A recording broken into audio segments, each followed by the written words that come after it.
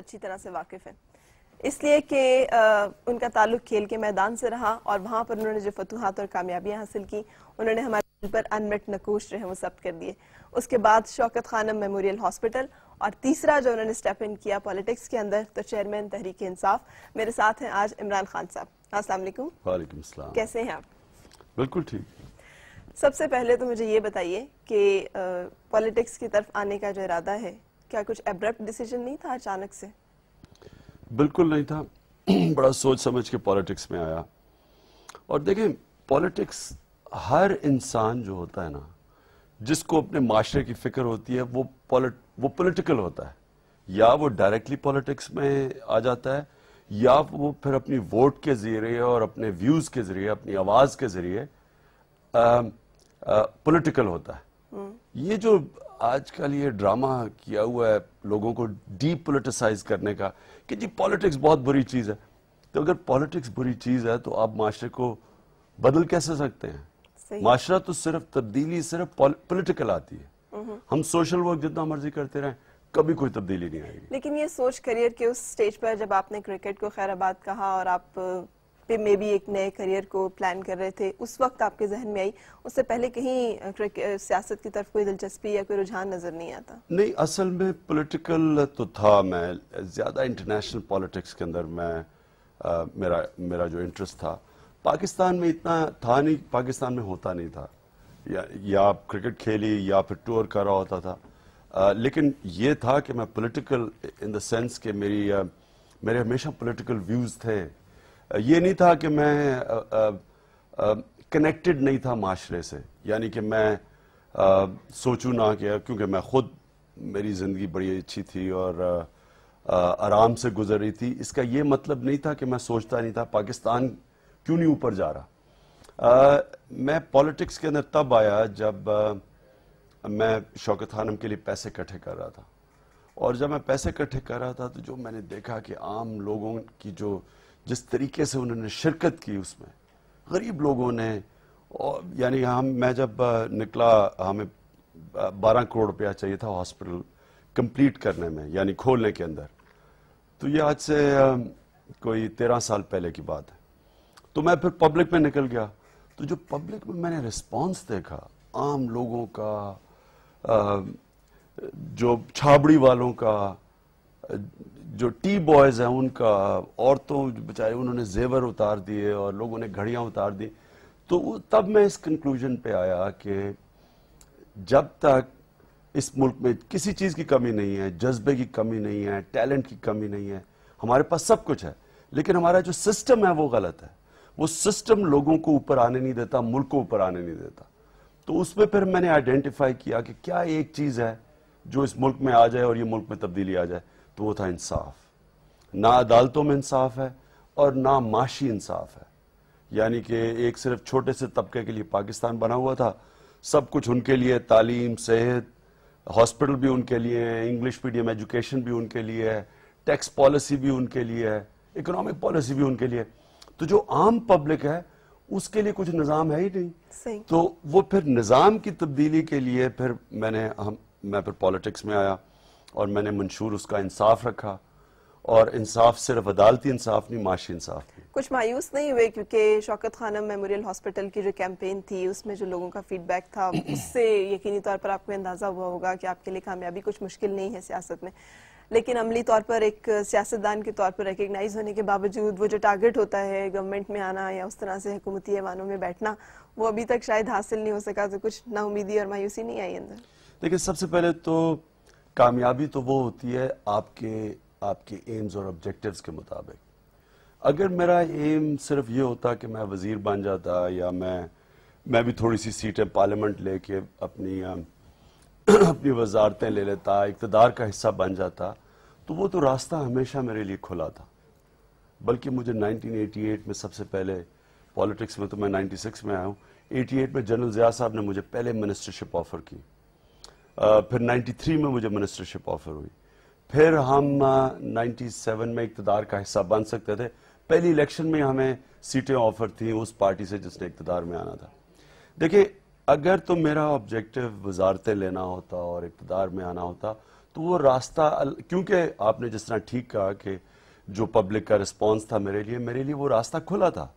لیکن میرا جو آبجیکٹو ہے وہ اس سے بڑا تھا۔ آبجیکٹو یہ تھا کہ پاکستان میں ایک سوشو اکنامک چینج لے کے آنا۔ یعنی کہ اس ملک کا جو نظام ہے اس کو چینج کرنا اس کو ایک حقیقی جمہوریت کی طرف لے کے جانا جدھر جدھر عدل اور انصاف کا نظام ہو۔ عدل اور انصاف کا مطلب یہ ہوتا ہے کہ سب کو اپرچونٹیز ملے ایک چھوٹے سے طبقے کو اپرچونٹیز نہ ملے آج پاکستان کے اندر آپ یہ دیکھیں کہ جو ہماری میجورٹی ہے وہ اوپر ہی نہیں آ سکتی۔ کیونکہ ہم نے تعلیم کا نظام ہی ایسا بنا دیا ہے کہ جو غریب ہے وہ غریب ہی رہے گا۔ جو چھوٹا سا طبقہ ہے وہ امیر تر ہوتا جائے گا۔ تو اس لیے جو میرا آبجیکٹو تھا وہ وہ سیدھی وزارت لینے سے نہیں ملنا تھا۔ وہ جب تک کہ پاکستان میں ایک آئیڈیا کو پھیلاؤں نہ لوگوں کے پاس آئیڈیا نہ لے کے جاؤں عوام کی طاقت سے جب تک پوری طرح اوپر نہ آؤں تب تک میں اس اس پہ نہیں پہنچ سکتا جو کہ جو جو میرا آبجیکٹو ہے۔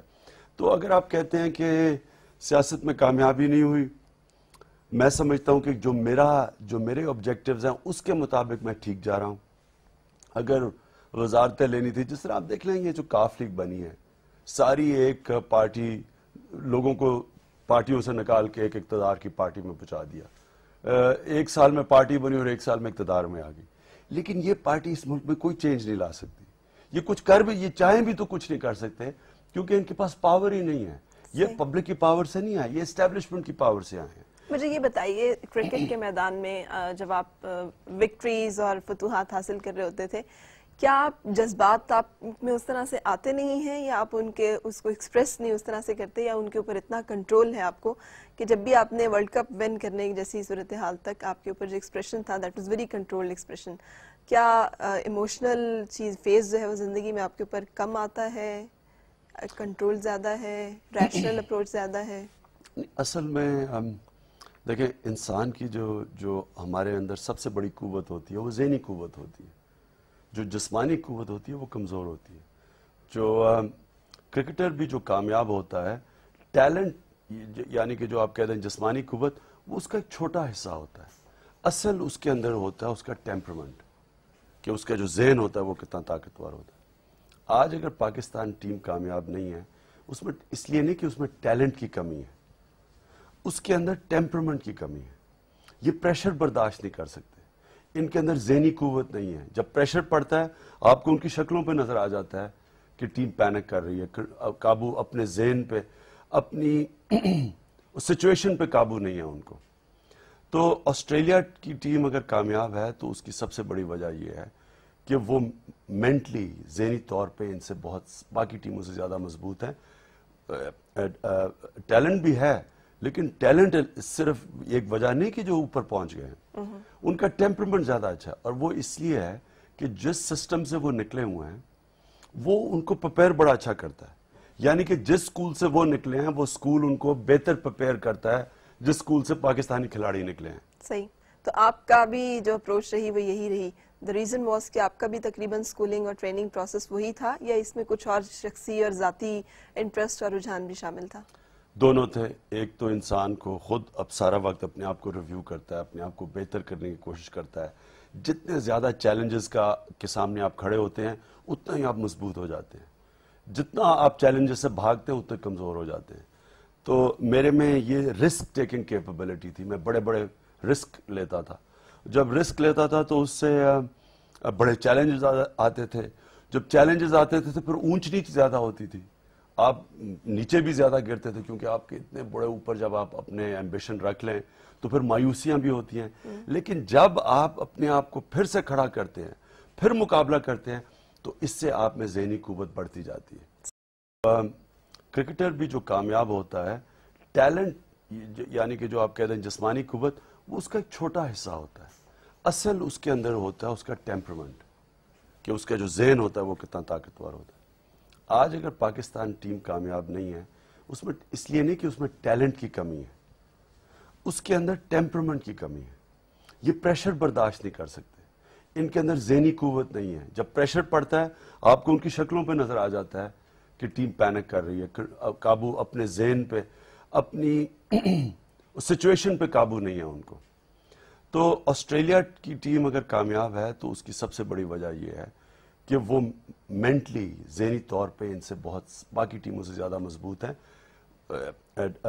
ٹیلنٹ بھی ہے لیکن ٹیلنٹ صرف ایک وجہ نہیں کہ جو اوپر پہنچ گئے ہیں۔ ان کا ٹیمپرمنٹ زیادہ اچھا ہے اور وہ اس لیے ہے کہ جس سسٹم سے وہ نکلے ہوئے ہیں وہ ان کو پپیر بڑا اچھا کرتا ہے۔ یعنی کہ جس سکول سے وہ نکلے ہیں وہ سکول ان کو بہتر پپیر کرتا ہے جس سکول سے پاکستانی کھلاڑی نکلے ہیں۔ صحیح۔ تو آپ کا بھی جو اپروچ رہی وہ یہی رہی۔ دا ریزن واز کہ آپ کا بھی تقریباً سکولنگ اور ٹریننگ پروسیس وہی تھا یا اس میں کچھ اور شخصی اور ذاتی انٹرسٹ اور رجحان بھی شامل تھا؟ دونوں تھے۔ ایک تو انسان کو خود اب سارا وقت اپنے آپ کو ریویو کرتا ہے، اپنے آپ کو بہتر کرنے کی کوشش کرتا ہے۔ جتنے زیادہ چیلنجز کا کے سامنے آپ کھڑے ہوتے ہیں، اتنا ہی آپ مضبوط ہو جاتے ہیں۔ جتنا آپ چیلنجز سے بھاگتے ہیں، اتنے کمزور ہو جاتے ہیں۔ تو میرے میں یہ رسک ٹیکنگ کیپبلٹی تھی۔ میں بڑے بڑے رسک لیتا تھا۔ جب رسک لیتا تھا تو اس سے بڑے چیلنجز آتے تھے۔ جب چیلنجز آتے تھے تو پھر اونچ نیچ زیادہ ہوتی تھی۔ آپ نیچے بھی زیادہ گرتے تھے کیونکہ آپ کے اتنے بڑے اوپر جب آپ اپنے ایمبیشن رکھ لیں تو پھر مایوسیاں بھی ہوتی ہیں۔ لیکن جب آپ اپنے آپ کو پھر سے کھڑا کرتے ہیں پھر مقابلہ کرتے ہیں تو اس سے آپ میں ذہنی قوت بڑھتی